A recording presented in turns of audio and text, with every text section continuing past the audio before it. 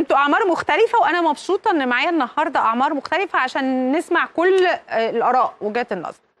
هنبدأ بيك يا جايدة. انت لما بتحبي حاجة عايزة تجيبي حاجة أو عايزة تطلبي طلب من مامي إيه الطريقة اللي انت عارفة انك اول ما هتقوليها مامتك هتعملها لك على طول؟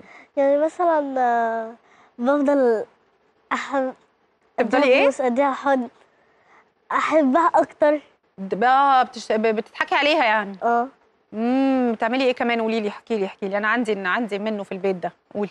بقول لها أنا بحبك أوي أوي أوي أوي يا سلام. وبعد ما تقول لك يا حبيبتي وتاخدك في حضنها تقومي قايله لها هاتي بقى فلوس. بقول لها ماما حبيبتي ينفع ينفع فلوس؟ خطة نموذجية بحتة والله بجد. ماشي. انت بتعمل إيه؟ أنا بقول لها أنا عايز كذا وهي بترضى. طب وافرض ما حصلش مرة ان هي قالت لك لا مش هينفع؟ لا تقول كتير. طيب بتعمل إيه أنت ساعتها؟ آه، هي لما تقول لأ أنا بقعد أزن عليها. بتزن إزاي بقى؟ بتقول لها إيه؟ يعني إيه، يعني بلحح عليها. بتلح؟ أيوه يعني تفضل تقول لها لأ أنا عايز برضو؟ لأ, لأ، بتعيط بقى وتدبدب أنا وبتعمل كده ولا؟ بقولها مرة. ولو هي ما وافقتش أه بسيبها واليوم الجاي بقول لها نفس الحاجة وهي. بتنسى وتقولي بتزهق. لا هي هي بتكون نسيت اللي أنا قلت لها امبارح آه. فبتوافق. فبتوافق. أنت بتعتمد إن ماما بتنسى. خطة برضو والله. بص معرفة الولاد ومخهم بيخلونا نفهم دماغهم طيب أنت يا لوجي احكي لي. أنا بالنسبة لي يعني بحاول أقنعهم أنا ليه محتاجة الحاجة دي؟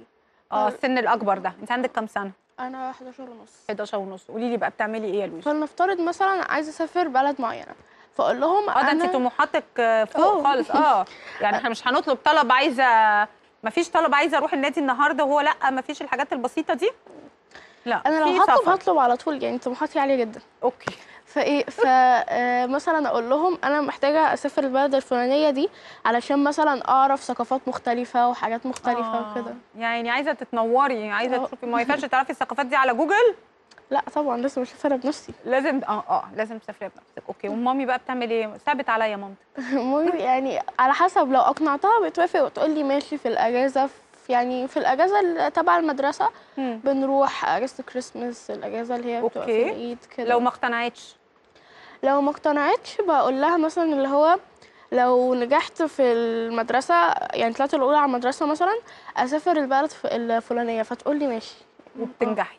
انت شاطرة كده بتطلعي من الاوائل آه. ما شاء الله طيب لو ما اقتنعتش لو ما اقتنعتش بقى بروح لبابي آه آه. ماما خلاص كده مفيش فايدة نخش على أمل خلاص. آه نخش آه. على البيج باص آه بت- بتدخلي على باباك تقولي له آه. إيه بقى أقول له مثلا إزيك يا بابا يعمل إيه أقعد أتكلم معاه شوية وفي الآخر أقول له مثلا إيه آه إيه رأيك في البلد الفلانية عايزين نسافرها فيها حاجات حلوة ومزارات حلوة وكده ممكن نروح يعني نشوف ثقافات تانية وفي. الأجازة بالمرة كده يعني